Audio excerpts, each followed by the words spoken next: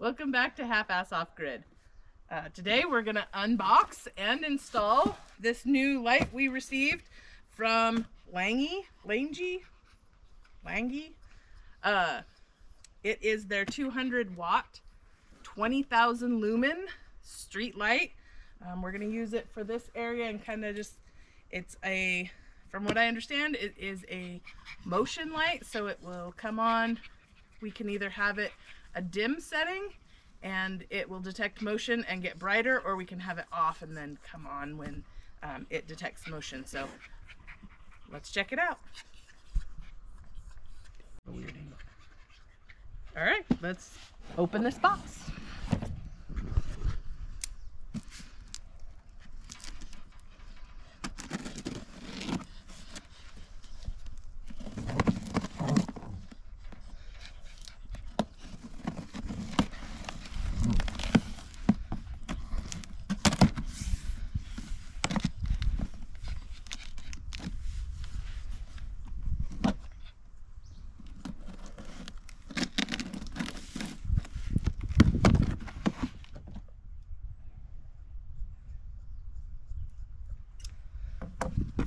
That's right, safety first.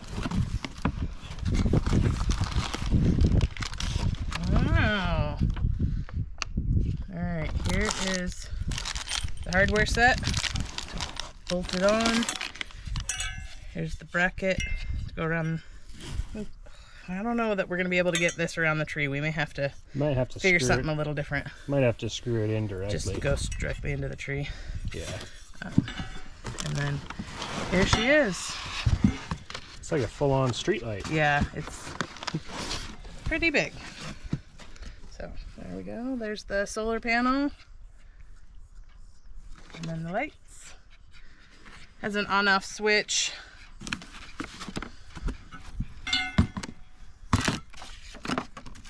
More hardware.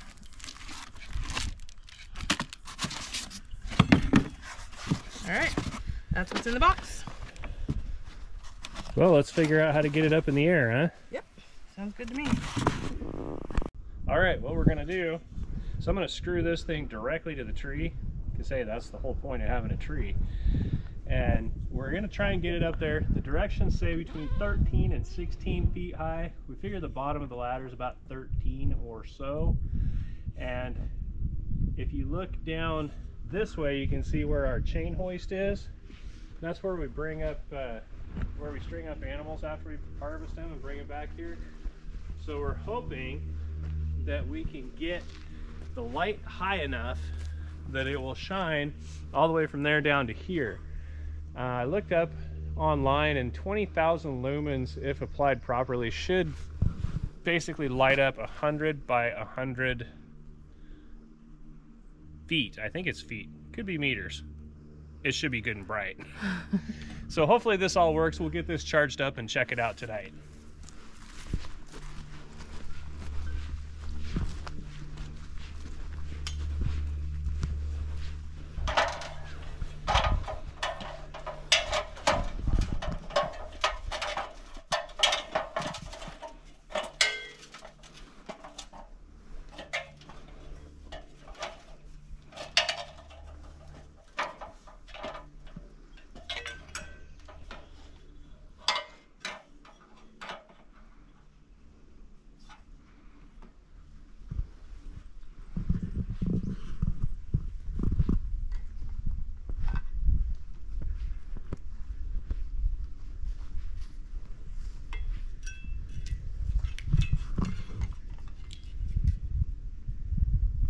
What do you think, kind about there?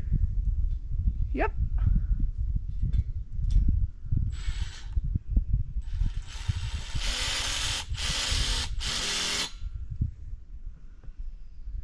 Hey, guess what? That's wrong size socket. Shoot. So I'll get these other screws. We have to use kind of an eclectic mix because we're at the cabin. not driving all the way to town for two screws. So we kind of made a special screw. One of these uh, little lag screws that we've used in various spots around the cabin. See if I can do this without dropping and cussing on camera.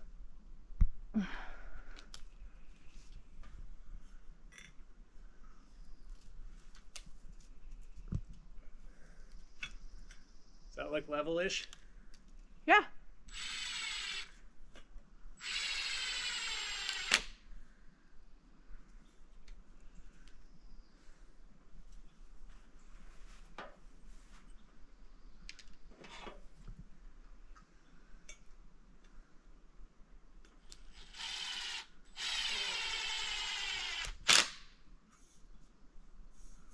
Pretty sturdy.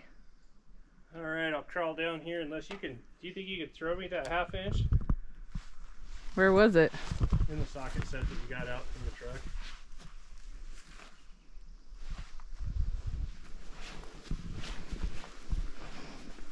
Let's go over here.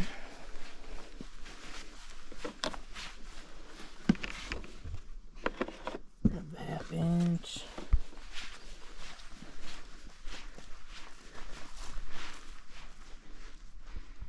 Ready? Sure, as I'll ever be.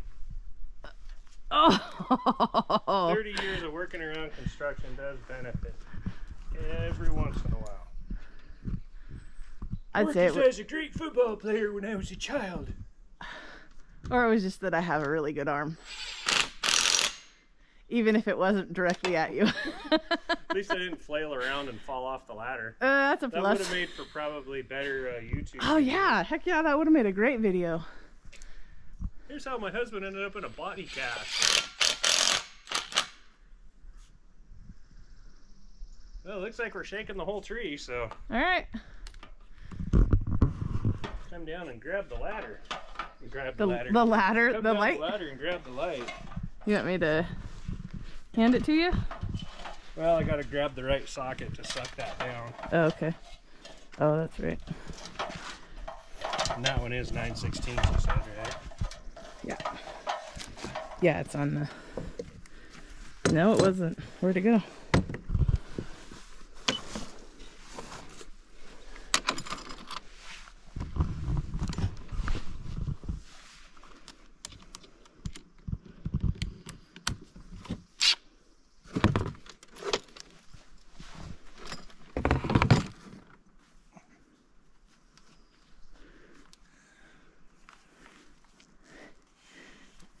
Need a holster.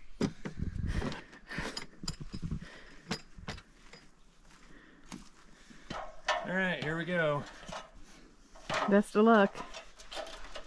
I love that uh, rope in the middle. That just makes it so easy. Yeah.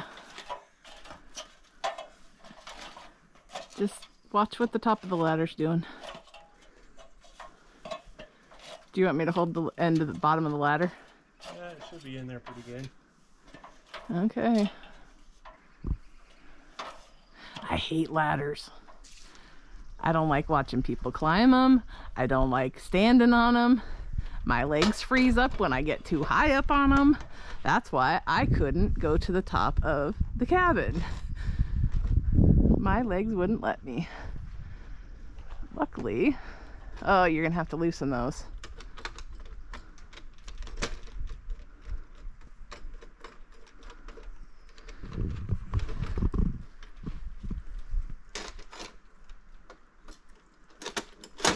There you go.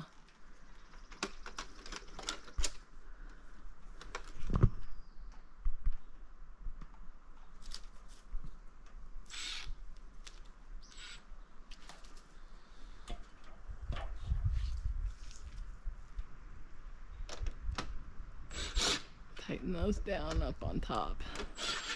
Hold it on there tight.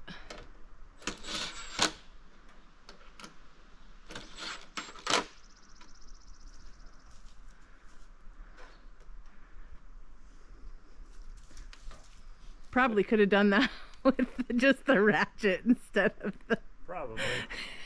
so I guess now we wait and let it charge. That's right. Put all of our toys away and see what the evening brings. Looking forward to it.